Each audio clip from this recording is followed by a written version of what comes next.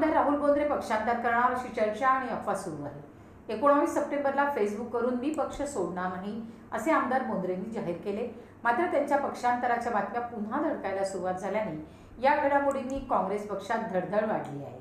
दरम्यान चिखली विधानसभा मतदारसंघाचे आमदार राहुल बोंद्रे भाजपात प्रवेश करणार असल्याची चर्चा आज दुपारी ऐकायला मिळत असताना आमदार राहुल बोंद्रे यांच्यासारख्या शेतकऱ्यांना चुना होणाऱ्या आमदाराला पक्षात घेऊन तिकीट देऊ नये अशी मागणी भाजपाचे जिल्हाध्यक्ष द्रुपदराव सावळे प्रदेश कार्यकारिणी सदस्य ॲडव्होकेट विजय कोठारी आणि जिल्हा परिषद सभापती श्वेताताई माले नगराध्यक्ष जिल्हा परिषद सदस्या व पंचायत समिती सदस्या यांनी प्रदेशाध्यक्ष चंद्रकांतदा पाटील व मुख्यमंत्री फडणवीस यांना चोवीस सप्टेंबरला प्रत्यक्ष भेटून सांगितले व मागणी संदर्भाचे निवेदनही त्यांनी दिले.